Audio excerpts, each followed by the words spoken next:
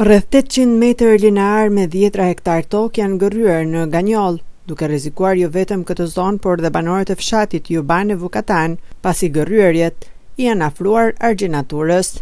Efektet e erozionit në anën e lumit Drin janë ndjerë prej vitesh, por askush nuk e mori seriozisht për të investuar. Administratori Pirin Marku apelon drejt institucioneve që të ndërhyjnë menjëherë, pasi tashmë nuk është fjala vetëm për tokën e cila ka shkuar dëm, por duhet parandaluar rreziku i vërshimit të ujit në fshatrat përreth. Ka tetë vite që ne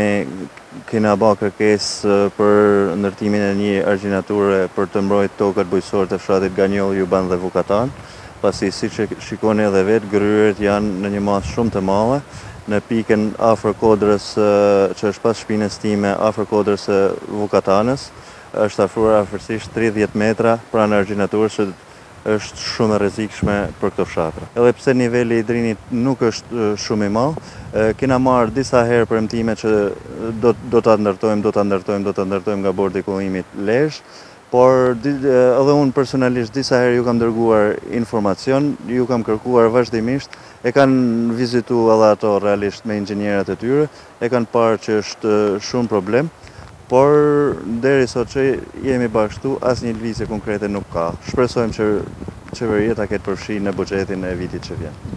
Nuk po flas ma për tokën bujqësore që po i merret banorëve çdo ditë me metra të tëra, është afërsisht 800 metra linearë që po vazhdon në gërryerje,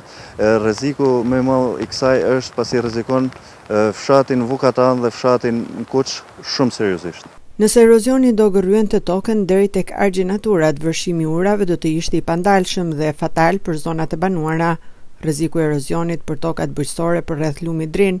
është rritur me përmasa alarmante ku deri tani raportohet se janë dëmtuar mbi gjashtë hektarë tokë.